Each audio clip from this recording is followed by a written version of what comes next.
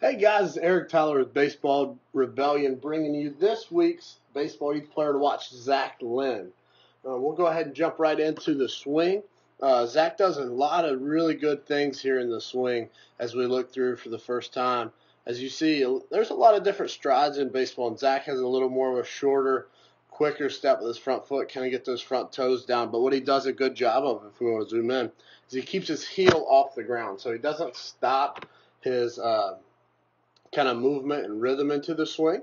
He allows himself to get his toe down without getting his whole foot down so that when he decides to turn, he can rock down onto the heel and begin rotation. And speaking of rotation, that's one of the things he does really well. If we look here, he starts to, and you can see it in his front foot and his front knee starting to open towards the ball.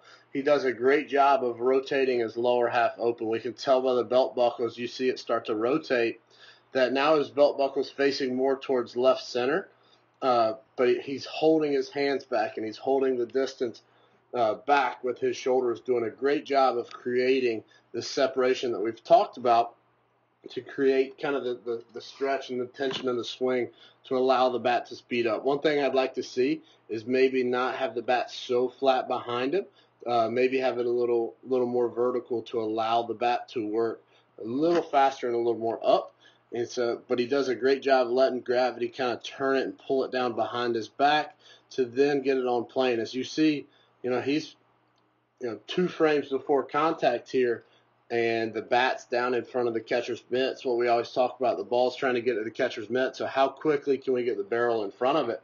And he does a great job of understanding that and getting it down there a couple frames before and then on its way up. As you see, here's the end of the bat here and then at contact you can see if I draw another line there, the bat's on plane upward through contact, allowing him to drive this ball. He does a great job of it.